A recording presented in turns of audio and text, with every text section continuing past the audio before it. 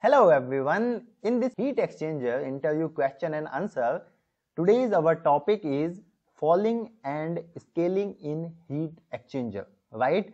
So if you are a chemical engineer, mechanical engineer and process engineer, whether you are fresher or experienced engineer, then this topic is must for you because if you are a chemical engineer, mechanical engineer or process engineer, the heat exchanger is very very important for you, right? And you have studied heat exchanger in the heat transfer subject.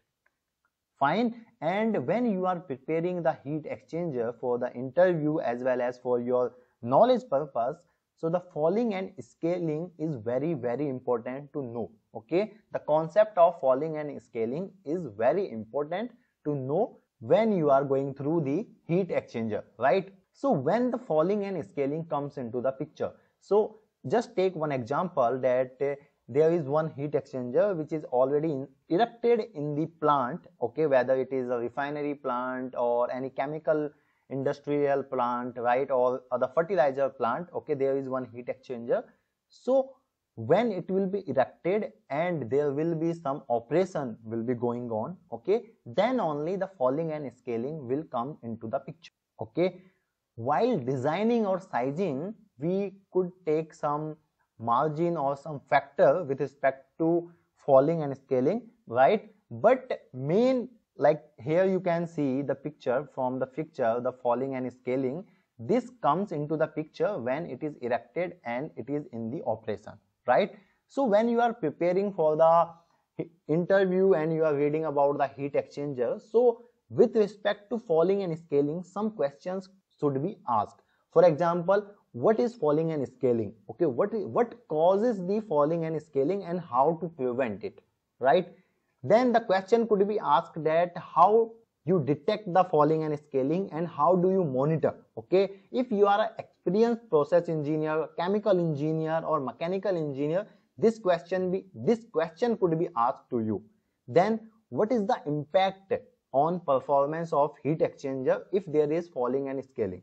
Okay then in the last the question could be asked that what is the mitigation process of the fouling and scaling in heat exchanger and what is the maintenance how you do the maintenance okay? When there is the fouling and scaling so we will discuss each point okay in our next slide. So let's start the video. If you haven't subscribed our youtube channel you can simply subscribe our youtube channel. You can like this video and share this video with your friends so that they could also learn about the fouling and scaling. If you have any comments or any suggestion about the topics and the videos you can let me in the comments box. So the first question is what are the primary factors what are the primary factors which contribute to fouling and scaling in heat exchanger and how can they be prevented? It means that what is the fouling and scaling and how to prevent it. So mainly see if there is one heat exchanger if let's suppose if this is your heat exchanger okay and it is in operation okay. So after some time you will see that uh, the tube bundle okay gets some deposition okay some deposition of the impurities which is present in the fluid or in a liquid. So the fouling and scaling occur due to the deposition of solids. You can simply see here or you can simply see here or precipitates on heat transfer surface. When we say the heat transfer surface it means that your tube okay outer your tube outer surface right? Or sometimes you can say in shell internal the internal surface of the shell okay? And typically caused by impurities in fluid mainly in liquid or sometimes by in chemical reaction. So if you will see see this is the surface okay? So mainly we know that at the surface the velocity is zero and at the center the velocity is maximum. So when in at the surface the velocity will be zero. Obviously obviously the deposition of the solids will be present there right? Sometimes the ions the solid ions will be present there right? And how to prevent it? So the prevention measures include proper fluid filtration in the upstream. Okay if if you are ensuring that the proper fluid filtration is there it could obviously prevent the fouling and scaling or reduce the fouling and scaling. Then regular cleaning. The regular cleaning is not possible but yes frequently or in your annual maintenance okay the atr okay in annual atr or in short shutdown you can take care of it. Then use of inhibitors or anti-scalants you can use and controlling the operating conditions okay for example your temperature pressures okay to minimize the risk of fouling and scaling okay. So in this question we understood about the what is scaling and fouling and how to prevent it. Fine.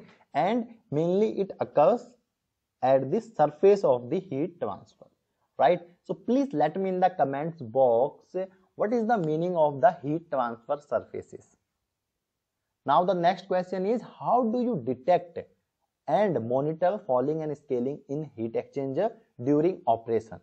So see there are various methods can be employed to detect the fouling and scaling okay during the operation. Mainly it includes the monitoring the pressure differential. Obviously if the delta p increases that could be one reason.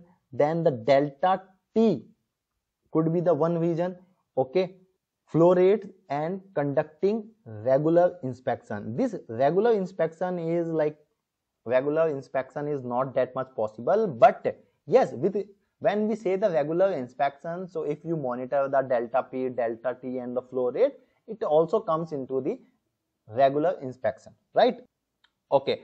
Also the non-destructive testing technique see for example ultrasonic thickness measurement in that case what we do we measure the thickness of the tube. Okay if you will measure the thickness of the tube or with the help of the ultrasonic thickness measurement here you can see the apparatus. So what will happen that the, let's suppose if the thickness increases what will happen?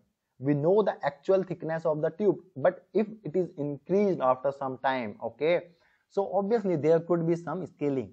You can also check by visual inspection okay but this visual inspection is only possible when there is shutdown in the plant and can also be used to assess the extent of fouling and scaling without interrupting operation okay if you use this method okay this is the online method right Please let me in the comments box what are the other methods which you use to detect and monitor the fouling and scaling in a industry.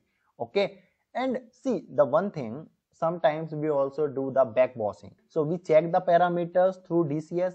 Okay. If the parameters are not within the range and if it is due to scaling and fouling. So sometimes we do the backbossing also of the heat exchange. Now the next question is what are the consequences of fouling and scaling on heat exchanger performance and how do they affect overall process efficiency. Okay so this question is very simple. If the fouling and scaling is there in the heat exchanger so obviously it will reduce the heat transfer efficiency because your heat transfer will not take place. Or the proper heat transfer will not take place because there is the scaling is there. Okay and the formation of these solids are there. So what will happen that it will resist the heat transfer from one system to another system or from the higher temperature to the lower temperature right?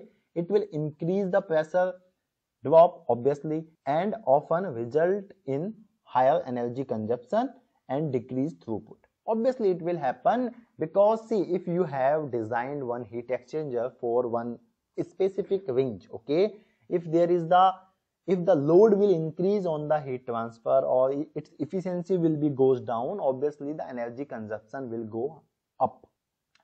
Then it can also lead to reduce process efficiency okay and it will increase the operating cost because the energy consumption will increase okay. And obviously if you if you will not address this problem then pot potentially equipment failure could be occur okay sometimes it could be like, like your tube could be burst up okay and some up downstream equipment could be damaged right? The next question is what strategies can be employed to mitigate fouling and scaling in heat exchanger and what maintenance practices are recommended? So here simply you can see earlier due to scaling what was the the you can see the surface okay? But after scaling you can see here okay? This is the difference. If you will do the proper maintenance or the cleaning of the heat exchangers okay? This is the tube bundle side view. So what are the mitigation strategies? So the mitigation strategies include regular cleaning using mechanical or chemical method. So the mechanical method include your hydrojet. Okay sometimes we do the hydrojet. Chemical cleaning also we do in the short shutdown or like in your atr or also sometimes we use the use the inhibitors. Okay and you can install the filters or strainer at the upstream of the heat exchanger to remove the impurities. Okay you can implement the anti-fouling coating and you can control the operating parameters with optimal ranges. Okay that is recommended from the manufacturer that you can refer the document. Then additionally proactive maintenance schedule we can follow. Obviously we could follow that. Okay and we can periodically we can inspect the heat exchanger okay during the short shutdown mainly or in atr we can check it out. Okay and cleaning routine we can we can make the one schedule okay to help to prevent the fouling and scaling buildup and we can ensure the continuous heat exchanger performance. So i hope you understood about the fouling and scaling okay and why this topic is important because uh, when you understand about the heat exchanger right so when you understand about the types of heat exchanger when you understand about the working of the heat exchanger designing of the heat exchanger okay the internal parts of the heat exchanger. So this fouling and scaling plays a very very important role during the operation to determine the efficiency right? So that's all for the today's video. If you have any doubt in this video please let me in the comments box. I will definitely clear your doubt as soon as possible. So that's all for the today's video. Thanks for watching. Till then keep learning. Thank you